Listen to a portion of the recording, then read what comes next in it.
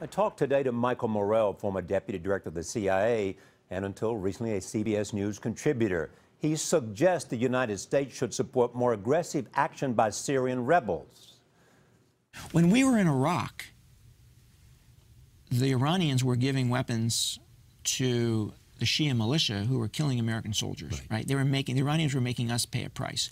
We need to make the the Iranians pay a price in Syria. We need to make the Russians pay a price. Here's the other thing I want to do. I want to go after, I want to go after those things that Assad sees as his personal power base, right?